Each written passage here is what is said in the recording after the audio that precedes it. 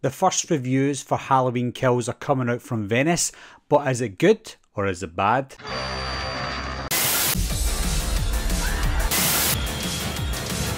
Everybody's a suspect!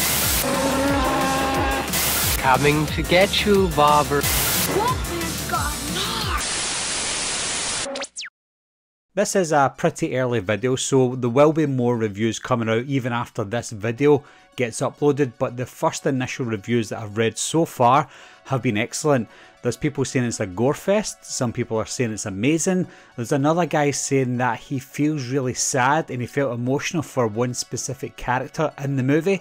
I've no idea who that is and I don't really want to know either, but the initial reviews are looking pretty good. They're actually looking a lot better than the 2018 Halloween movie. That got, I think it got a standing ovation, I'm not too sure, but it got a lot of really good reviews. But this one, judging just from what I read so far, is getting even better reviews. That doesn't mean it's going to be a better movie. It might just be initial reactions where people are really on cloud nine when they first watch a movie, especially at a, a festival like Venice. And then they come away from it and think, do you know what? I did say it was great, but I'm actually thinking it's just good now. And I do that myself sometimes when I go and see a movie in the cinema. So it doesn't mean it's going to be amazing, it just means that the first initial reactions are great. And if that's anything to go by, even if I don't love the movie, when I go and see it for the first time, I might love it and then I might really like it later. That's the way I gauge it anyway.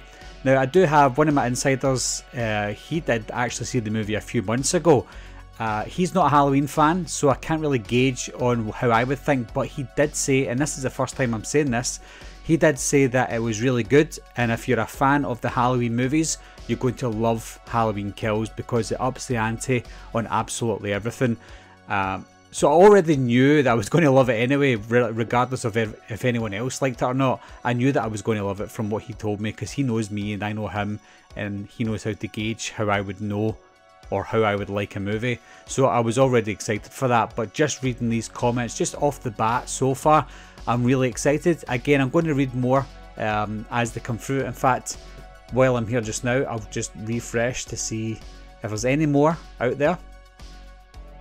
Um, no, there's not.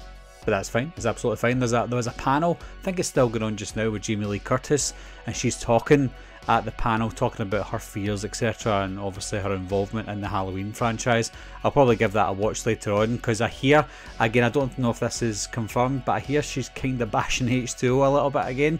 I love H2O, and she didn't bash it when it first came out, so please stop doing that, Jamie Lee, because I know you personally love H2O like I do. Anyway guys, that's all for just now. I'll probably do more updates with regards to the reviews. I don't want to read too much into them because I don't want any spoilers obviously. I just wanted to gauge some people's thoughts as soon as they come out of seeing Halloween Kills at the premiere. Uh, but leave your thoughts and comments down below. Again, any spoilers will have to be deleted because I've had to delete a lot lately. So spoilers will be deleted. Not only will, will they be deleted, You'll unfortunately be banned from the channel. I've had to ban lots of people from the channel recently. Even people who are innocent about it, they just leave spoilers for some reason. So I have to delete it and ban them and that's what I have to do. So leave your comments down below. Let me know what you think of the, the reactions so far. And uh, as always guys, I'll talk to you soon. Bye bye.